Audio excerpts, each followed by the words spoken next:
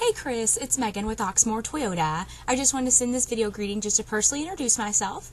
It was a pleasure speaking with you about the 2005 BMW. I will give you a call back Friday so we can discuss a good time for you to come out and see it.